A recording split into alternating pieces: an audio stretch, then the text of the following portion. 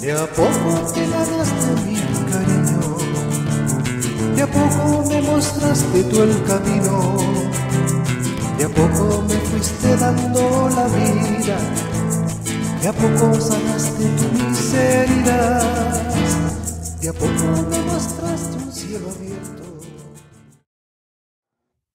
Sonrisa, sonríe, que Dios te ama. ¿Se acuerdan cuando hacíamos ese ejercicio ah, del, del, rostro, que era sonreír, sonreír?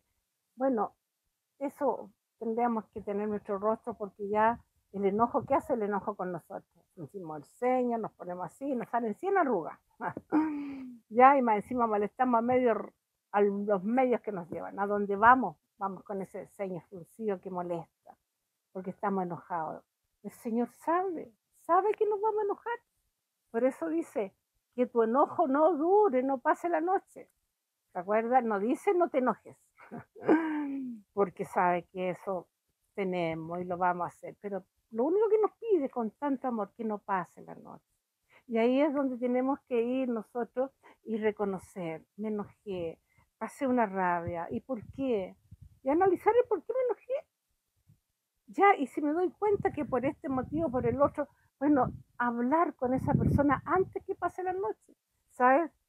Mira, me equivoqué, me enojé, no sé, tú tenías la razón, yo tengo la razón, pero me enojé igual, estoy enferma, me siento mal, tengo dolores, me duele la cabeza, disculpa, pero, pero no fue bueno lo que hiciste. Con tus hijos, ¿cuántas veces a lo mejor estamos molestos, estamos enojados, y el hijo a lo mejor hace una pequeñita cosa y nosotros, ¡pum!, nos enojamos y hacemos tremendo escándalo.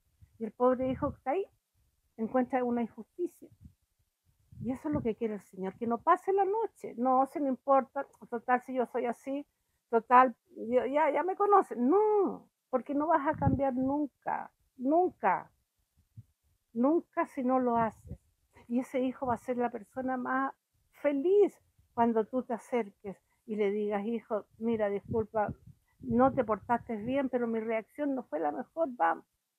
Y es una enseñanza para el después, para que él también pueda reconocer. Así que hermano, hermano querido, y dice, ¿ah? dice, no dejes pasar la noche, no le des las armas a Satanás, te lo está diciendo. Que si tú no reconoces tu error y tú no eres capaz de decirlo, Satanás está feliz. No, que le será usted. No, es así, yo no lo dije, lo dice la Biblia.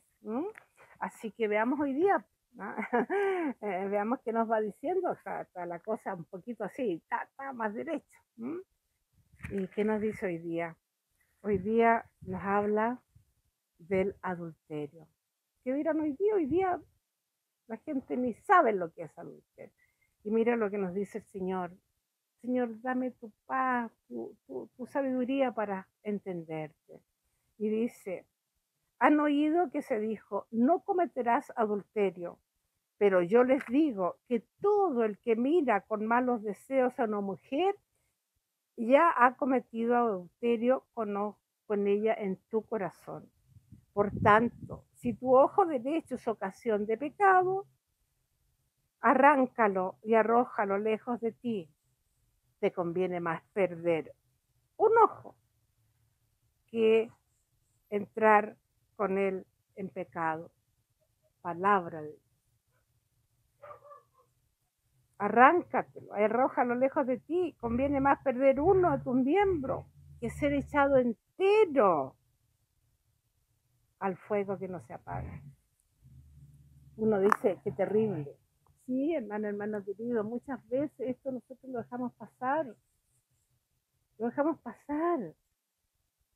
¿Por qué hoy día hablamos del adulterio? Hoy día, ¿qué significa el adulterio? Para ellos no es nada. Hoy día estoy con una, estoy casada, estoy pareja, aquí ando con uno, con otro y da lo mismo. Parecemos animalitos que vivimos a instinto, me caliento aquí, voy acá, me caliento allá, voy allá y es lo mismo. Pero si somos libres, ¿quién puede decir estas estupideces que están diciendo? No, hermano, respeta, respétate tú, tu cuerpo, respeta el cuerpo del otro.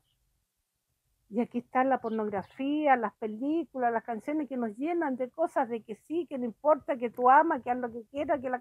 Y eso está repitiéndolo. Por eso aquí está, si tu ojo miraste con deseo, dice el Señor, ya pecaste. Porque tú estás deseando y si, hubieras podido hacerlo, lo haces. Entonces, ¿dónde está? Miro y, Señor, sácame esto. La experiencia de un sacerdote que nos decía de cómo mirar nosotros con ojos de Dios. Él nos contaba la experiencia de él, que había bajado de esas micros que antes estaban, las mini faldas, que eran cualquier cosa menos mini. Y él se bajó detrás de una persona y loco la siguió y cuando se dio cuenta las dos cuadras no era para donde él iba, sino que para el otro lado. Reconoció, tuvo que devolverse y cuando se confesó el sacerdote le dijo es normal, porque eso es lo humano, lo normal. La próxima vez, mira, si no tienes que dejar de mirar, pero ve la creación de Dios en él. Ojos del mundo, ojos de Dios, digámosle, Señor, ayúdame a mirar el mundo con tus ojos y no con los del mundo.